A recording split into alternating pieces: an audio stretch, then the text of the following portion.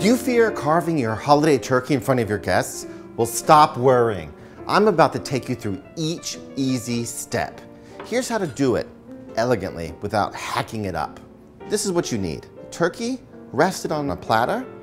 Then you need another plate, not a cutting board. That's not elegant, table side, to cut part of the turkey up. And then you need a plate on which to put your carved pieces.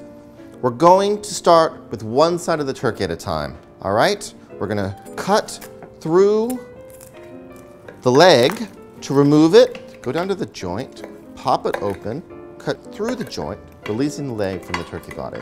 Now, using your carving fork, you transfer it to your plate. Now separate the thigh from the drumstick.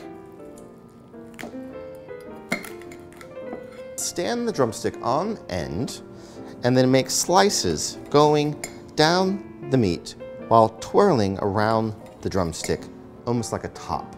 That way you're gonna avoid all of the little bones that are in the drumstick and the bits of cartilage. There's a bone in the thigh, very simple one going down the middle. We're gonna make parallel cuts up to the bone on either side.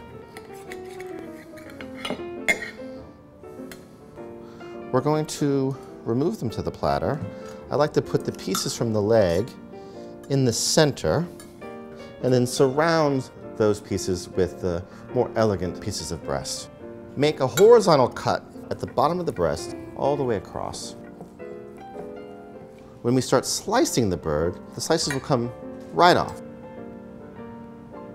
One at a time, just place the breast pieces on the platter, going all the way down to the bone, and just repeat on the other side. For more recipes and tips, go to saveur.com.